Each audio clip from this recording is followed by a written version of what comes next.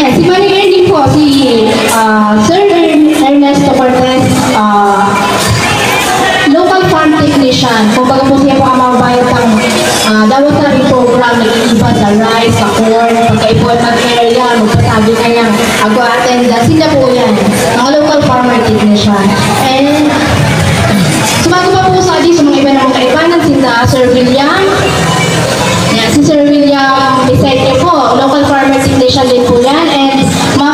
Maxi, President, Maxi Chair sa di.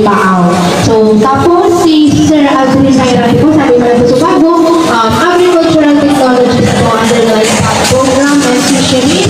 And ako po, si Rosel Vicente, um, agricultural technologies under the LifePath program. So, yun po, tari na kita training program.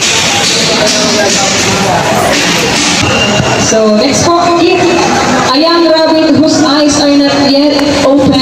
Presentation is given to Ma'am Agnes Buslon, uh, Ma'am Nancy Pinosa, and Ma'am Mary Joy Bazar.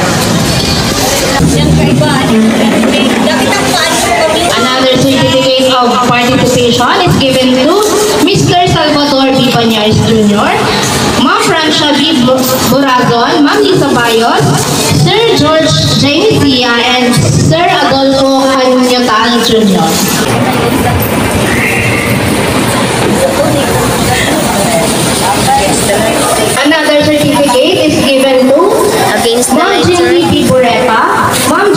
Potonia, and Ma'am Pep Bonador.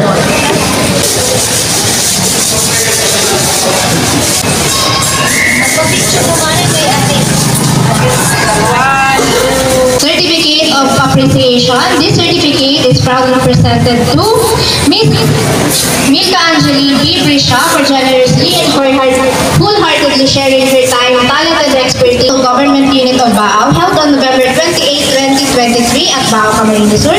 Given this 28th day of November 2023, signed Alain, Engineer Alain A. Bravo, Municipal Agriculturist, signed Jeffrey S. Viterno, Municipal Mayor.